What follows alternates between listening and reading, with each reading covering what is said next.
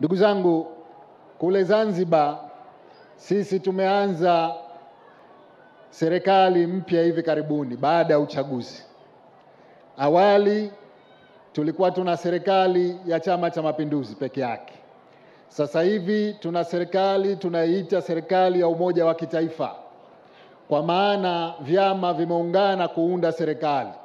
Chama changu mimi, Chama cha Mapinduzi, na chama cha Maalim Seif Sharif Hamadi, chama cha ACT Wazalendo.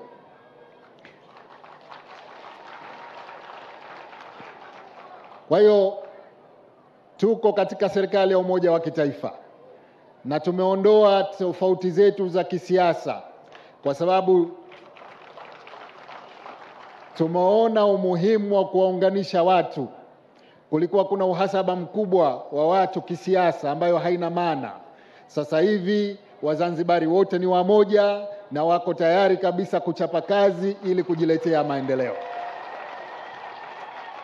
Nataka nichukue fursa hii nimshukuru hadharani rais wetu, rais wa Jamhuri ya Muungano wa Tanzania, Rais Magufuli kwa kusimamia na kuhakikisha kwamba hili limewezekana kule Zanzibar.